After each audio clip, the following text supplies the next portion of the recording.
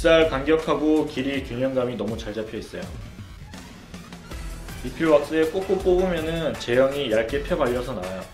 뒤쪽으로 이렇게 쓱쓱 발라서 넘겨주시면 돼요.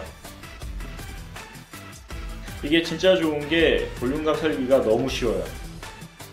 옆머리 뜨는 분들은 이렇게 눌러주시면 돼요. 뒷머리 볼륨도 쉽게 살릴 수 있어요.